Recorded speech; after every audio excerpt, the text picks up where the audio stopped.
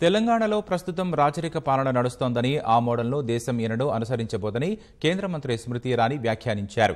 ప్రధాని మోదీని ఎందరో సీమ్లు గౌరవించారని కేసీఆర్ మాత్రం సమాఖ్య వ్యవస్థ నిబంధనలను అవగౌరవపరిచారని విమర్శించారు. కేసీఆర్కు దమ్ముంటే కేంద్ర సర్కార్ను పడగొట్టాలని భాజపా రాష్ట్ర అధ్యక్షుడు బండి సంజయ్ సవాల్ విసిరారు.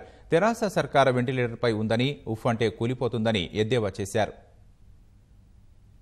భాజపా జాతీయ కార్యవర్గ సమావేశాలు కొనసాగుతుండగా సమావేశాలకు ప్రధాని మోదీ కేంద్ర మంత్రులు సహా భాజపా ప్రముఖ నేతలందరూ హాజరయ్యారు. ప్రధాని తెలంగాణకు రాగా ప్రోటోకాల్ ప్రకారం సీఎం కేసీఆర్ ఆహ్వానించకపోవడంపై భాజపా నేతలు ఆగ్రహం వ్యక్తం చేశారు. ప్రధాని వస్తే స్వాగతించడానికి రాకపోవడం రాజ్యాంగాన్ని అవమానించడమేనని కేంద్ర మంత్రి స్మృతి ఇరానీ అన్నారు. కేసీఆర్ ఓ నియంత అని అభివర్ణించారు. రాష్ట్ర పర్యటనకు వచ్చిన ప్రధానికి ఆహ్వానం పలకకుండా రాజ్యాంగం రాజకీయ మర్యాదలకు తూట్లు పొడిచారన్నారు. ప్రోటోకాల్ పాటించని కేసీఆర్ అవమానించింది ఓ వ్యక్తిని కాదని ఓ వ్యవస్థను అని విమర్శించారు. భాజపా జాతీయ కార్యవర్గ సమావేశాలను రెండు రోజుల సర్కస్ అని పేర్కొన్న మంత్రి కేటీఆర్ వ్యాఖ్యలపై కూడా ఆమె స్పందించారు. కేసీఆర్ కుటుంబానికి రాజకీయం అంటే ఓ సర్కస్ అని తమకు మాత్రం సమాజ సేవకు మాధ్యమమని బదులిచ్చారు. తెలంగాణలో ప్రస్తుతం వారసత్వ రాజకీయాలు నడుస్తున్నాయన్న స్మృతి ఇరానీ దేశం ఆ మోడల్ను అంగీకరించబోదని అన్నారు.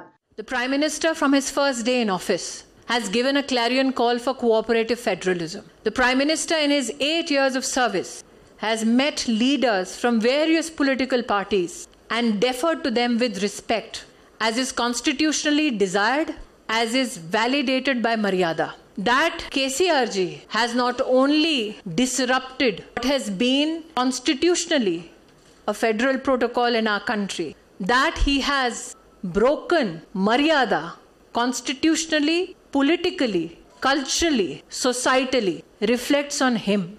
केसीआर जी ने व्यक्ति का अपमान नहीं किया संस्था का अपमान किया है और आज तेलंगाना की धरती पर संविधान की मर्यादा भंग करने वाले का नाम केसीआर जी భాజపాకు పెరుగుతున్న ప్రజాదరణతో తెరాస రాజకీయ మైదానంలో జారిపడిపోతోందని కేంద్ర మంత్రి ధర్మేంద్ర ప్రధాన్ ట్విట్టర్లో ఎద్దేవా చేశారు. రాష్ట్రపతి అభ్యర్థి యశ్వంత్ సిన్హాకు మద్దతుగా ఏర్పాటు చేసిన సభలో కేసీఆర్ ప్రధానిపై చేసిన వ్యాఖ్యలను ఆయన ఖండించారు. దేశానికి అత్యంత ఇష్టమైన నాయకుడినుద్దేశించి కేసీఆర్ నీచమైన రాజకీయ ప్రసంగం చేశారని అసభ్యకర భాష వాడారని అన్నారు. కేసీఆర్ కావాలని మరోసారి ప్రోటోకాల్ను ఉల్లంఘించి సీఎం పీఎం వ్యవస్థలను అవమానించారన్నారు. కేంద్ర ప్రభుత్వంపై సీఎం కేసీఆర్ చేసిన వ్యాఖ్యలపై భాజపా రాష్ట్ర అధ్యక్షుడు బండి సంజయ్ మండిపడ్డారు. దమ్ముంటే కేంద్ర ప్రభుత్వాన్ని పడగొట్టి చూపించాలని కేసీఆర్కు సవాల్ విసిరారు. తెరాస సర్కార్ వెంటిలేటర్ పై ఉందని ఎద్దేవా చేశారు. జీహెచ్ఎంసీ ఎన్నికలప్పుడే ర్యాలీలు చేయని కేసీఆర్ రాష్ట్రపతి ఎన్నికలప్పుడు ర్యాలీలు చేస్తుండడం విడ్డూరంగా ఉందన్నారు. రాష్ట్రపతి ఎన్నికలను అగౌరవపరిచేలా సీఎం కేసీఆర్ నడుచుకుంటున్నారని